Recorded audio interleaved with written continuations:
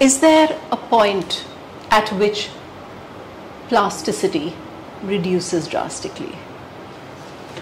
I think we know that aging does impact plasticity considerably. And we know this from experience. I'll give you an example. Um, if you missed your flight, you will think of a few ways to, you know, make that up. If someone, a generation younger than you missed the flight, they wouldn't be flustered at all. If your parents missed the flight, on the other hand, all hell would break loose.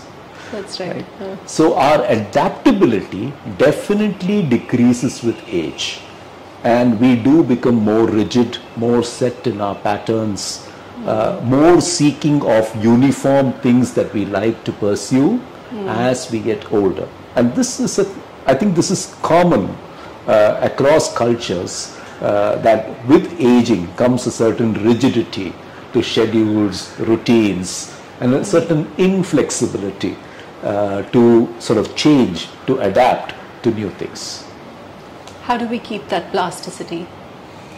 by learning new skills.